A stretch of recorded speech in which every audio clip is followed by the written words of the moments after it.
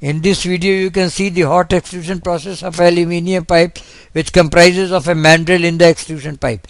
This process is hot extrusion process where different parameters are controlled on the basis of given specifications.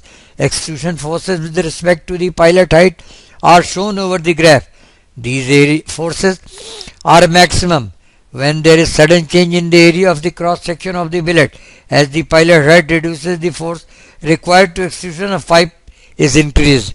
Maximum force required during hot extrusion process is less than cold extrusion process. Ram velocity is set as 5 mm per sec. The die angle is specified as 90 degrees and it is specified that there is no friction during this hot extrusion process.